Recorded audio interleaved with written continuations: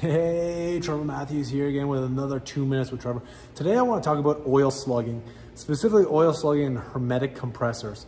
Uh, as you can see back here, this is a hermetic recip compressor, and this is original compressor in a system.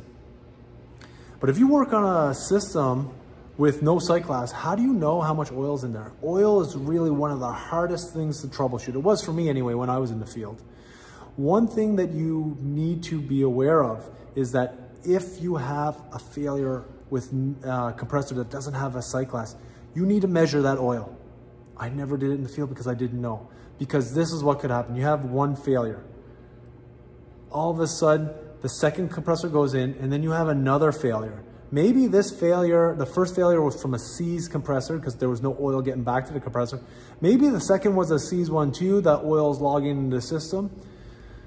But by the third compressor, if you don't know how much oil is in that system, you put a new compressor in, that oil starts to log again somewhere in the system, maybe in the evaporator, and all of a sudden you have a defrost. All that oil comes back and then smashes the compressor.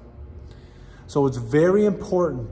Anytime you're working with a compressor that does not have a, a glass, you need to measure the oil, and you can match that up to Copeland Mobile. So you scan the compressor, and I'll tell you how much oil should be in that compressor what you need to do if all of a sudden there is no oil in the compressor, don't assume that it's logged in the system. You need to walk around and see if there's a leak.